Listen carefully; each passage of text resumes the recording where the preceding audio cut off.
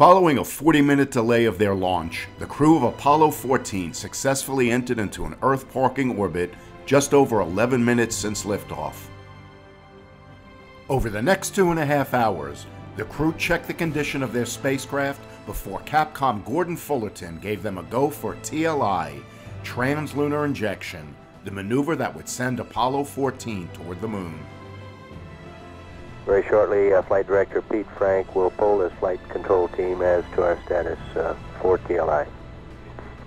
Apollo 14, Houston. Go ahead. Your go for the moon, go for TLI. Roger, go for TLI. Been 30 seconds away now from time of ignition. Uh, our displays show a predicted uh, apogee uh, resulting uh, from this burn of uh, 250,263.7 nautical miles. We're at uh, 2 hours uh, 28 minutes now into the flight. Standing by. Ignition. Roger, ignition. Good start. Steering's good. Roger, and we show good thrust on the S4B.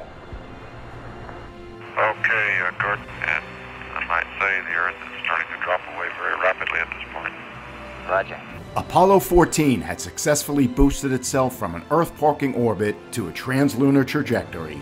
With the crew now traveling at over 35,000 feet per second toward the moon, the next big event would be docking with the lunar module and extracting it from its adapter for the trip to the moon. Apollo 14, Houston. Go ahead, Houston, 14. Roger, you are go for transposition and docking, and uh, we're going to have a site handover from Guam to Goldstone at uh, three hours even. Over. Okay, understand. We're going to Goldstone at 3, and we have a go for TND. That's affirmative. By the time of the Apollo 14 mission, the transposition and docking maneuver had been successfully completed four times once in Earth orbit and three times while headed to the moon. The maneuver, which had become seemingly routine, called for the crew to separate their spacecraft from the S 4B third stage of the launch vehicle. The command module pilot would then turn the spacecraft around in order to line up and dock with the lunar module, which was cocooned in a protective adapter. Just over three hours after launch, the Apollo 14 spacecraft separated from the S 4B and Roosa was soon closing in on the lunar module. Hi, Ed, this is Houston. About how far out in range are you now, would you estimate? About 5 feet. Roger. Ed Houston, we're about to dock. Roger. That was Ed Mitchell uh, reporting they're getting ready to dock. Uh, we're at uh, 3 hours uh, 13 minutes uh, now into the flight. And we docked. Roger, we can see a slight oscillation. Ed Mitchell reporting that Apollo 14 command module, uh, Kitty Hawk, has docked uh, with the lunar module. Despite their report of docking, the Apollo 14 crew had in fact failed to connect with the lunar module. They suddenly found themselves moving away from their target. Roosa gently applied forward thrust, hoping to complete a hard dock on his second attempt.